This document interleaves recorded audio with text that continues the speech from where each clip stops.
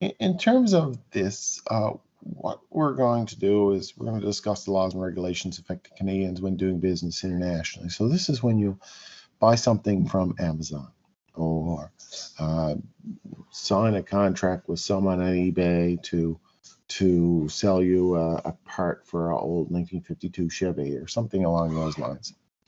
And uh, we're going to look at that primarily as the focus. And then we're going to look at uh, international trading relationships, which is really uh, the the fact that several governments, Canada, the United States, and Mexico, for example, have the North American Free Trade Agreement and what implications they have for doing business.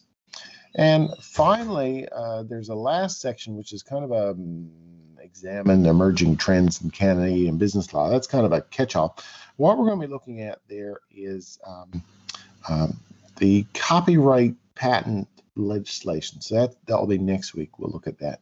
So this this unit is kind of a hodgepodge, but it really is looking at uh, a lot of online type operations. That's that's primarily what we're focused on. So what I've called this is part one, and uh, part one is really international law and internet transactions. So the internet really facilitates business, education, entertainment, and social interaction.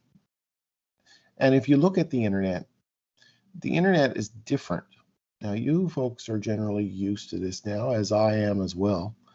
We don't think of it anymore. But when the internet, when I sat in room uh, 201, which is normally our classroom, when I sat there in 1994, and um, someone introduced me to this newfangled computer system called the internet.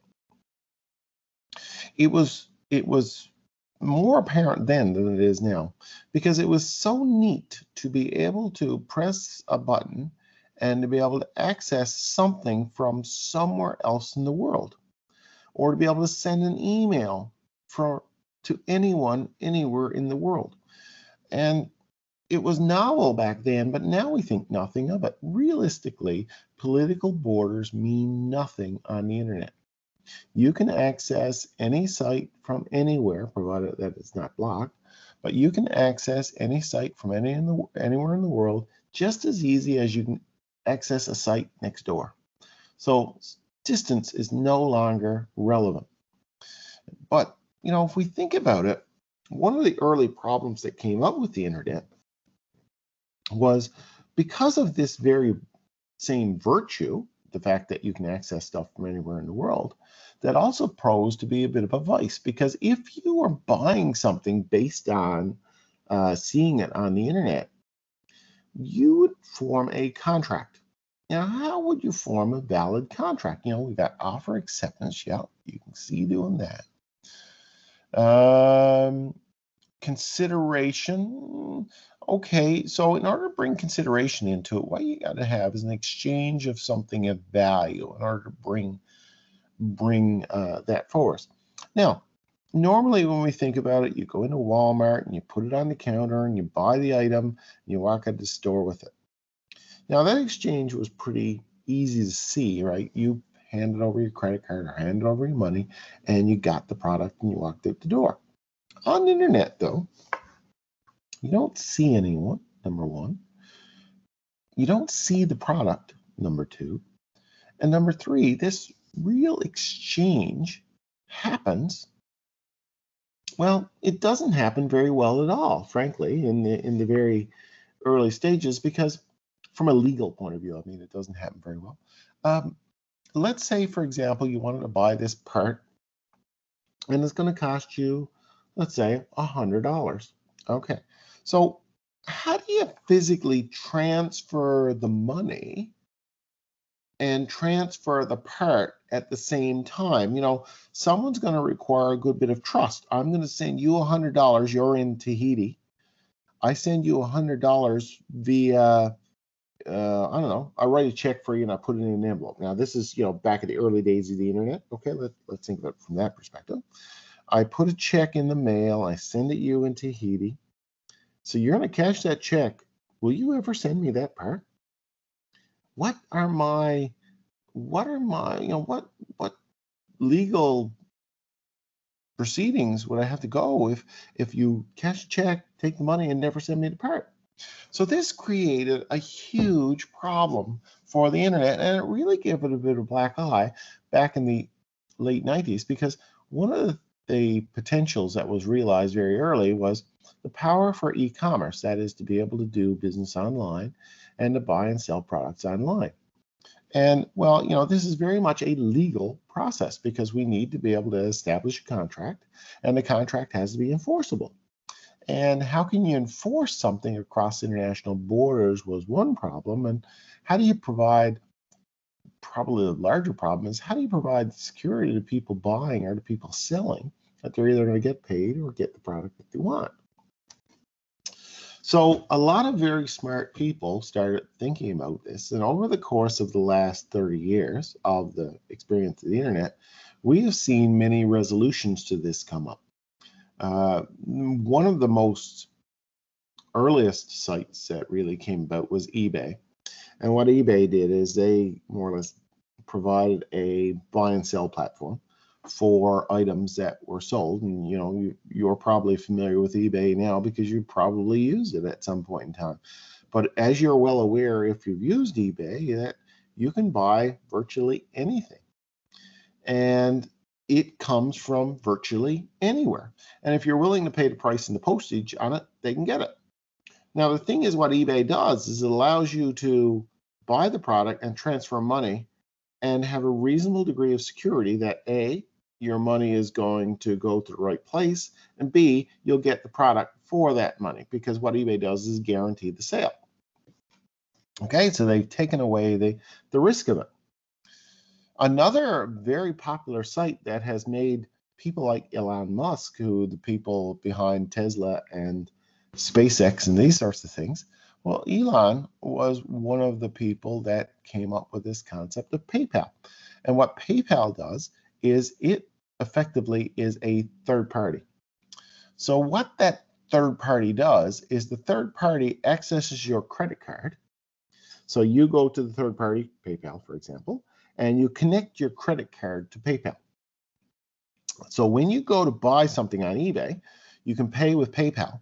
So if you got a PayPal account, what PayPal will do will send the money to the company that you want to send it to. They will do that. They will electronically transfer the funds, but they will do it, not you. Your what they will do to you is charge your credit card for it. So what that does is it provides a barrier between you and the company so that you can't get ripped off or you're not giving them your credit card information.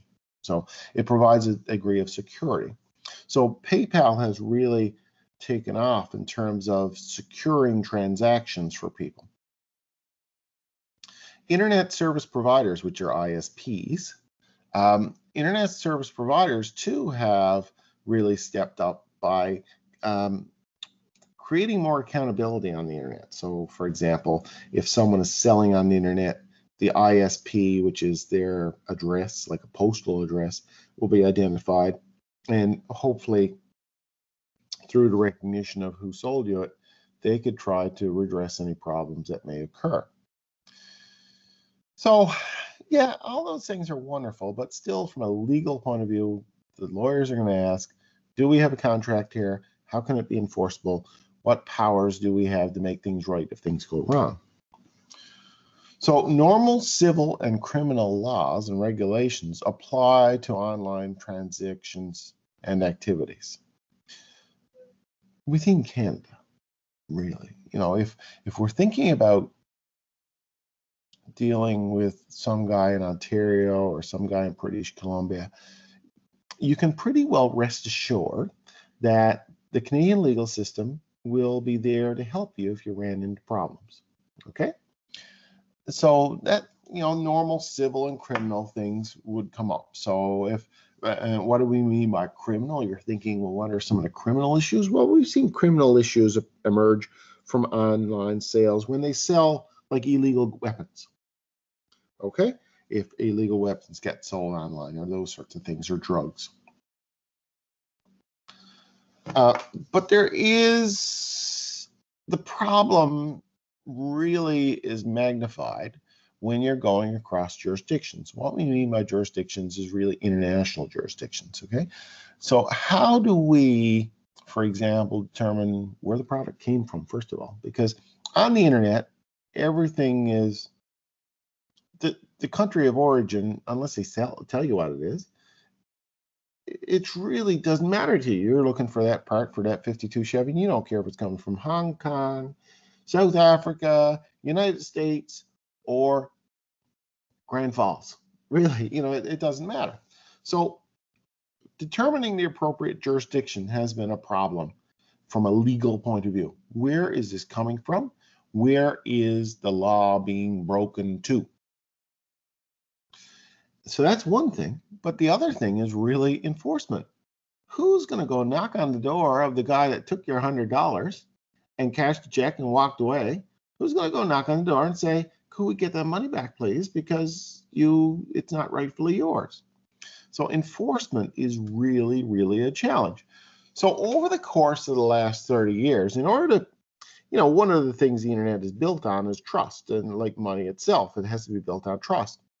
And business and governments recognize that if the trend is towards more e-commerce activities, governments are going to have to put things in place to ensure that, first of all, jurisdictional issues are no longer a problem. Okay, so that the laws must be applicable in the various countries in order to make this work well. So Canada, for example, has adopted, United States has adopted, most of the, I'm going to say most of the first world have adopted legal policies that relate to online contracts. Secondly, enforcement. And again, the legal system as well as the, the judicial system and the legislative system that make the rules, the government, have created a whole bunch of new policies to try to catch up with some of the advancements that we have seen on online sales. so, you know, they, they looked at the laws that were already in place. And if we think about, we've talked about this issue of a contract and the essential elements of a contract. Well, how do we apply that same law to the internet? You know, this idea, as I mentioned, about consensus. How do we how do we give something in exchange in order to bring about this consideration issue? How, how do we do that? You know, the law as it stands is not geared up for it didn't envisage was not geared up for an internet-based system. So government's been reluctant to introduce regulation control, but that's now changing. Why were they reluctant? Well, they were reluctant because they just didn't understand. The, the amount of understanding, and that holds true uh, largely everywhere, is, you know, the legal system is a very staid, old-fashioned type system that's built on precedent. So when you get this newfangled system that no one has really contemplated before, laws don't necessarily work they're different from one country to another. And for the courts to handle it, you know, the courts got to really start fresh. And if they don't understand the basic concepts, then, you know, it really runs into some uh, problems and you're going to get some pushback from the point of view of the legal community. So, as I say, you know, the biggest problem, one of the biggest problems is this idea of determining the jurisdiction, and the internet really doesn't recognize borders. It's hard to determine which laws apply, and we must determine, you know, we must determine where the action is brought really in order to bring an action. So where is this 52 Chevy right fender coming from? If you can't tell, you can't very well launch a lawsuit because again, you don't know where the country was.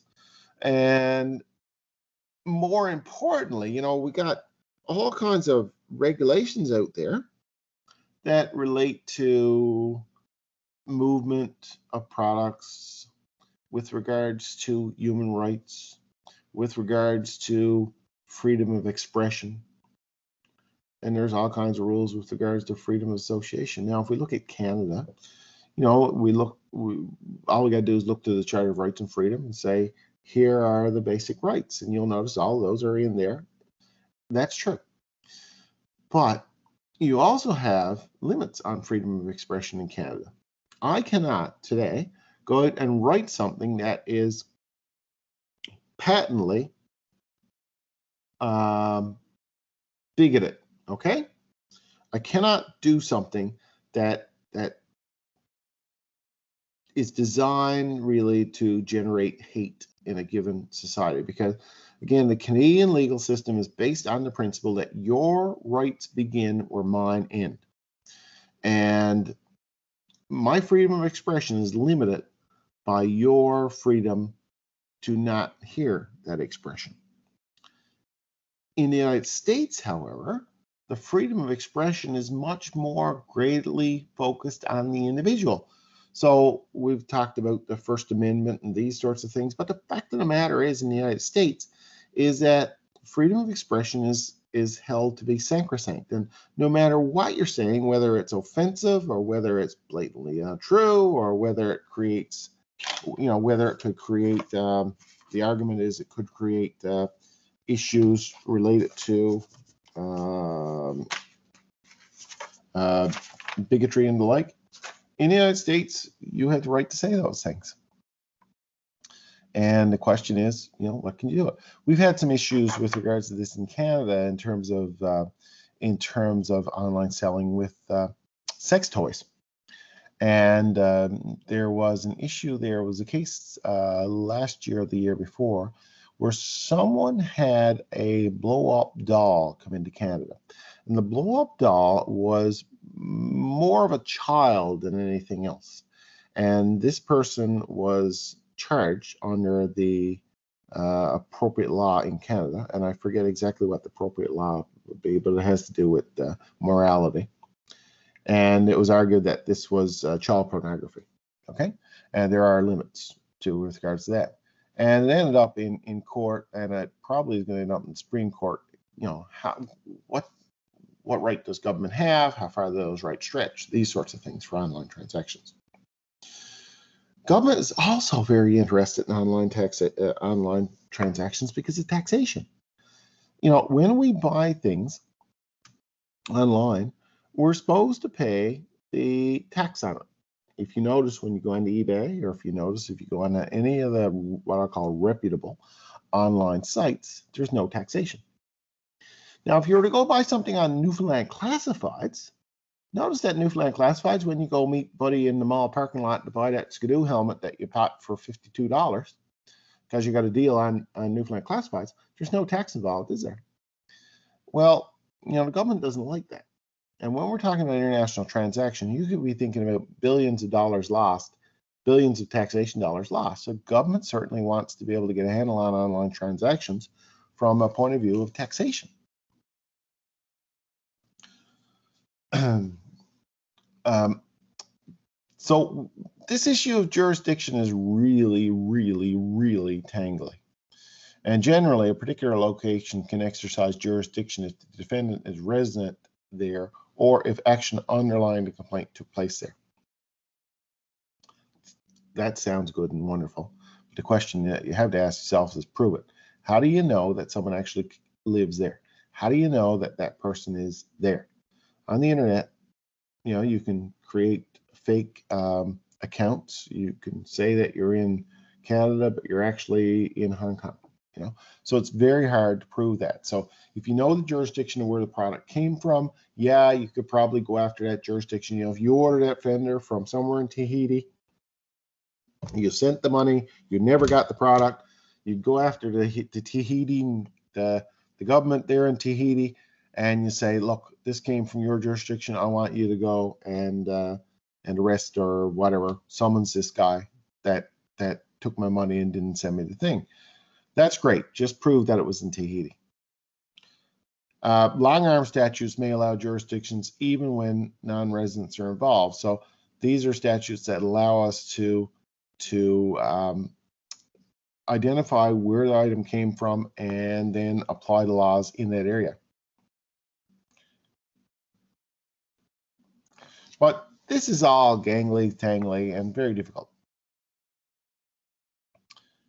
So one of the things that mm, more modern governments, progressive governments, um, first world governments have done is recognizing the importance of online transactions, particularly in the business to business world, okay? uh, the, the laws have changed over the last number of years to allow jurisdiction to uh, only where there's a close connection where the jurisdiction act is complained of. And uh, it may help to state the contract where the jurisdiction governs the transaction. So in certain uh, certain jurisdictions for example you have to be very clear where it's coming from. And if the laws are set up uh, if for example canada has an agreement with xyz country uh, then there is a process in place to seek uh, remediation if there is a problem the online offer or service should state limitations of availability. So again, you know, it's just that covering your proverbial rear end. In uh, laws have changed, as I say, over the last number of years, and the question is, okay, if I'm buying this from here, what laws, what laws are going to protect me here in Newfoundland, or what laws are going to protect me in Canada? The Newfoundland Consumer Protection Act. Here is the um, let me go up to the top of it, the Consumer Protection and Business Practices Act for Newfoundland and Labrador. And you can see with the amendments, it was an act of 2009. And you can see it's been updated. So this is a fairly recent updates. And if you can imagine that um, this, this act encompasses online selling, okay? So you can think of the traditional uh, the traditional issues related to uh, consumer practices, for example, unfair practices, unfair consumer practices, unconscionable acts, such as unconscionable transactions. You know, I charge a million percent or something. That would make it unconscionable. That's what we mean, or that are not in the best interest. Unsolicited goods. Someone sends you something in the mail and then sends you a check, a bill for it. Credit cards consumer contracts for direct sales contracts. But look, Division 2 talks about distance sales contracts. So what do we do if we got a distance sale? So in Division and Division 3, a distance sales contract means a contract for supply of goods and services between a supplier and consumer that is not entered into in person and with respect to the goods for which the consumer does not have the opportunity to inspect the goods that are the subject of contract before the contract is entered into, but does not include prepaid purchase card. So, you know, what we got here is a set of rules that relate to this. Now, again, getting this to apply in a foreign jurisdiction may not work. But if it is in Canada, so if you're buying this item in Vancouver or if you're buying this in Ottawa, these rules would be applied because if you look at Ontario's consumer protection legislation, this is Newfoundland's, but if you look at Ontario's, almost identical almost identical consumer protection legislation now exists across the jurisdictions of Canada. So online selling within the boundaries of Canada is reasonably protected. You know, we've got um, we've got these uh, these particular sets of laws with regards to distant selling contracts, the supplier shall disclose the following information to the consumer before the consumer enters into the distant sales contract. So there's a bunch of things there. Um, okay, so mail address, detailed description, currency in which the amount, suppliers, delivery agreements, including the identity of the shipper, suppliers, cancellation, return, exchange policies. Okay. Um, in this section, electronic means Electronic Commerce Act. Before the consumer enters into distance contracts, that is an electronic form, a supplier shall make the information required under Section 29 available in a manner that requires the consumer to access the information, allows the consumer to retain and print the information, correct errors and that sort of thing. You know, this is all geared up for the internet. Now, I'm not going to ask you, by the way, I'm not dealing into the detail of this. I just want you to understand it exists. Okay, so don't worry about the detail. For the purposes of this course, that's beyond the scope. Okay. Um, this is, uh, uh, you know, a supplier shall give the consumer enters in the distance sales contract a copy of the contract within 15 days. consumer may cancel distant contract by giving notice. So all of these things, uh, return of consumer on cancellation. So all of these things are geared up there in this law. And, you know, they've got disclosure, you know, they've got a fairly good detail in terms of law now on how the contract is formed up. Yeah, a distance service contract shall be written in plain language, provided in paper form. The requirement to provide contract in paper from under paragraph is not satisfied by the provision of electronic information authorized by the Electronic Commerce Act. The distance service contract shall be completed in duplicate. Consumer signature shall appear. A renewal, amendment. So all of these things are specifically set out for online transactions, okay?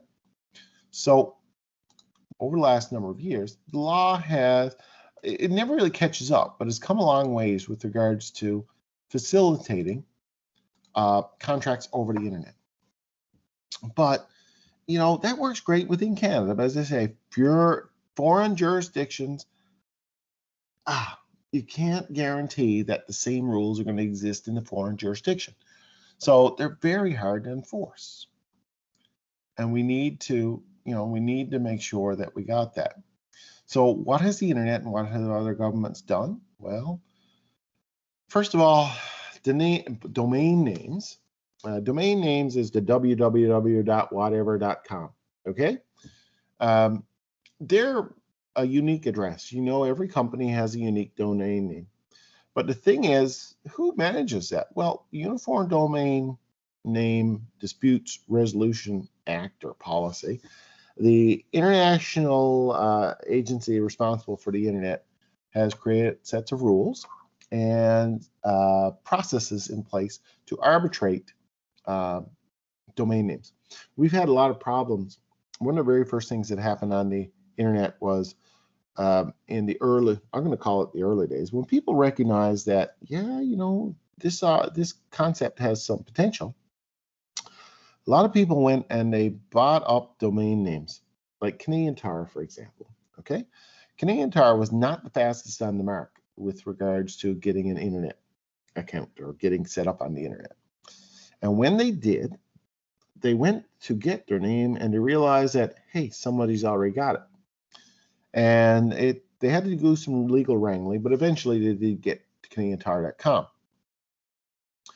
But this this process um, does ensure that companies who are legitimate can get it. McDonald's, I think, had the same problem.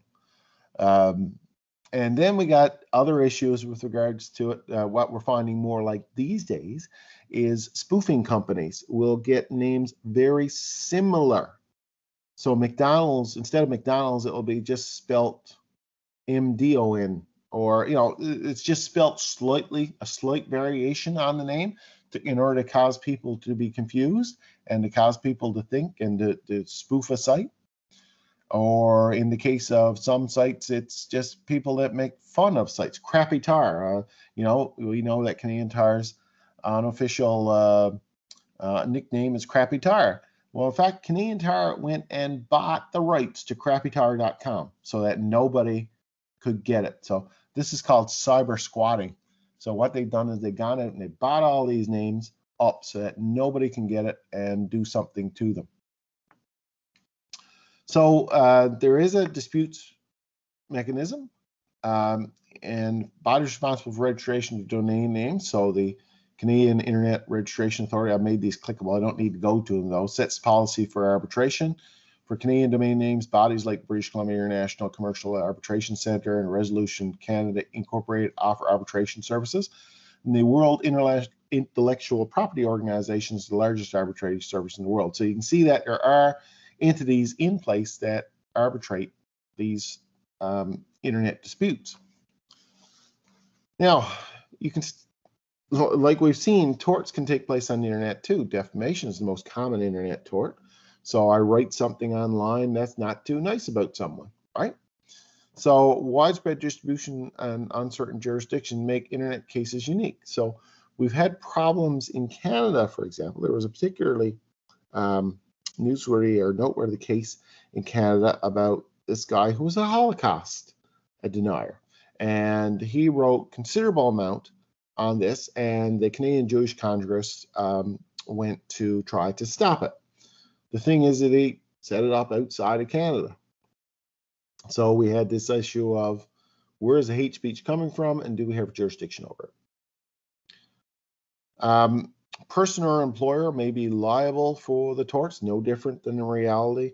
Internet service provider may be liable if it fails to remove or block offending messages when required by the court. So the internet service provider, Bell or one of these companies, are responsible when a complaint comes in place to block certain things. So, for example, in the case of the Holocaust deniers, they had to block these various sites. Then you run into problems. Okay, if you're blocking that, someone's going to argue, well, that's a that's a freedom of speech issue. Uh, legal status of internet transactions is really determined by contract law. We've seen that.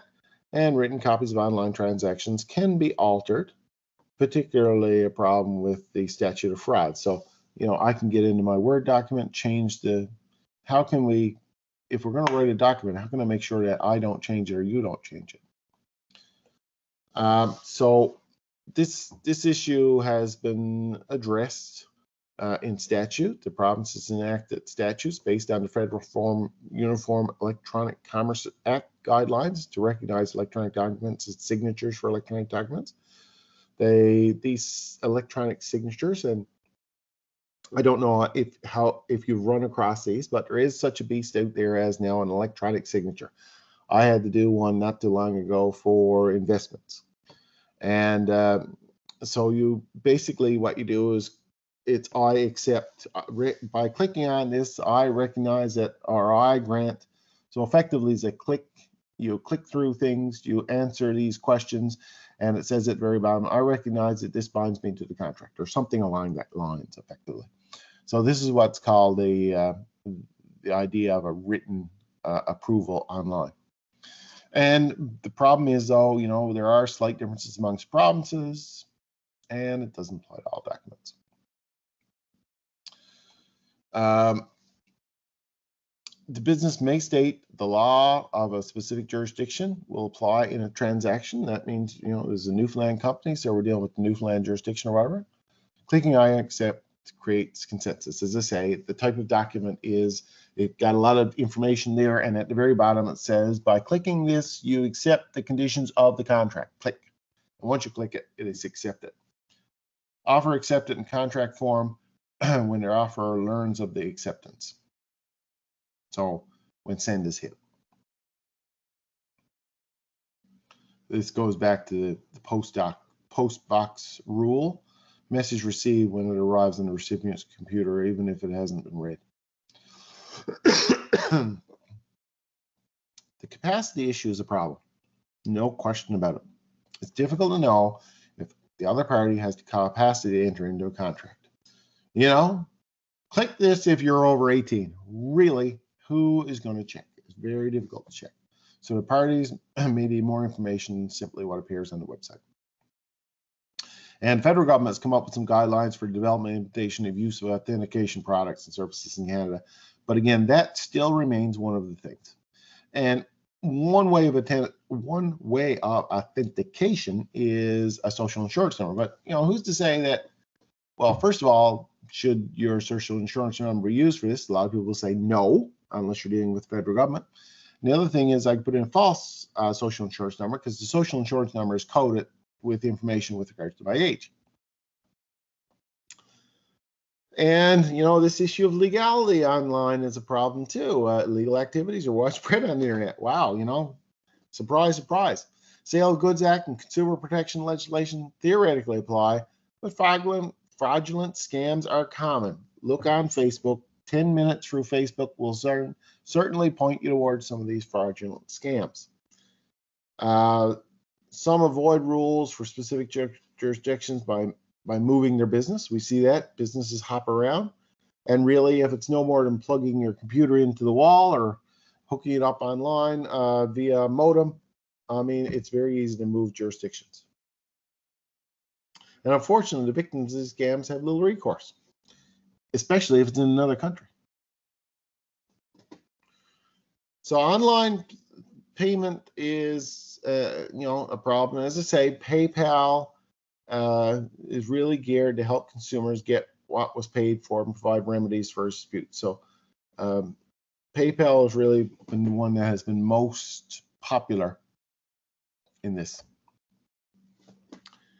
Uh, the idea of what's legal differs from one jurisdiction to another. And you got to convince the court that it has the jurisdiction over the event. Uh, so the best thing in a contract when you write a contract is say what is the jurisdiction we're dealing with and this is who is dealing with. So the contract should say sales in Newfoundland and Labrador. Um, you know, legislation is still trying to keep up with the internet. I don't know if we'll ever catch it, but anti-spam legislation is a bit uh, is something that's on the books. It still hasn't been put in place. Um, government is most interested in taxes. Uh, I'll give you a classic example of the problem in taxes is Airbnb. Okay, Airbnb. When you go buy uh, Airbnb, which is a platform for a platform for uh, booking um, accommodations, someone's house somewhere, uh, collecting the taxes for that sort of thing. Government has had very little success with regulations and, and taxes in any of those sites. It's one of those ongoing things. And I will tell you from experience that government has little appetite to deal with it because they're trying to find the solution to the problem and they don't want some patchwork solution. So basically government's hiding their head in the sand right now with regards to a lot of these problems until they come up with a big fix. Uh, and, and, fundamentally, you know, when you're out on the international business world, there is no such thing as an international court to legislate or to litigate private matters. There's no such thing. So as a result, you're kind of out there in the in the ether and uh, you know internet dispute resolution mechanisms only really address disputes between sovereign nations. So for example canada versus britain or canada versus the united states not you versus joe down in tahiti. Um, and if we think about international business you know there's a huge volume of international business going on. Import export is is big, you know, billions, trillions of dollars worth of product gets sold every year. One of the biggest problems is intellectual property. How do we secure intellectual property? What we mean by international intellectual property is stuff that is the creation of someone's mind. Okay? Music, songs, this issue with intellectual property with regards to music has been a long-standing one with the internet. Um, the original opportunities that were used were give songs away for free. The artist didn't like that, and uh, they were shut down. Uh, Spotify is out there now, and Spotify is probably the largest one in terms of music, and effectively you can download or play any song you'd ever want. So why would you ever buy another album? But how much do the artists get paid? Pennies. So uh, artists are really upset with uh, some of the issues with regards to streaming of their song. It's great to be able to get it out, but they're not getting any any feedback for it. COVID has exacerbated the problems because they haven't been able to get out and do concerts. So um, you know, artists are really suffering and they're kicking up a lot of fuss, justifiably, with regards to their intellectual property. Um, there is a story going on right now if you watch news, uh, you'll see that there is a new uh, type of product, investment product out that allows you to buy the rights to an original work of art. And whatever it is, the coding, the electronic coding goes onto the original. So if I take a picture and put it up, there's nothing to prevent you, me, anyone else from sending that, putting it on Facebook, doing anything with it to spread it around the world. So the question is, who owns the original? Who, how do you maintain ownership of the original? And this new piece of software, new piece of technology allows this to happen. And apparently people are making millions on it because they're buying and selling art on this. So there's a lot of this art that is being sold right now. Um, we got issues with regards to property uh, and and and all the items that are involved on the internet uh, create some huge problems internationally. We can't, you know, we can't guarantee that contracts are well written. We can't guarantee that government regulations are going to be there to protect us. We can't guarantee that money can be easily transferred. So there's a lot of push on in the world now to, to make these more secure and more uh, bolstered uh, to ensure that people don't run into problems. So the basic rules are know who you're contracting with, acquire the services of a professional, recognize certain terms of contract may be invalid in certain jurisdictions.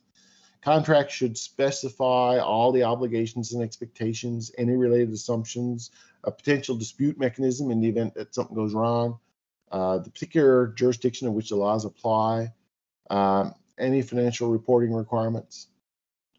Um, you know, uh, and we got this issue of foreign ownership too, and how much is a company local, how much is it foreign. So these these things come into play. We've also got uh, the issue with regards to litigation. As I say, you know, there's no real guarantees that the court's going to help you because in a different jurisdiction where there's no rules, the court might find nothing to really uphold. Different sets of rules in different jurisdictions might not uphold anything. So um, you got to be able to to be very tread very carefully with regards to jurisdictions. And you know we see some jurisdictions, more progressive ones, are applying uh, territorial competence tests to determine the court jurisdiction. So we we've got to figure out where is this coming from, and if there are treaties or these sorts of things between the various courts. Get down to that somewhere down here.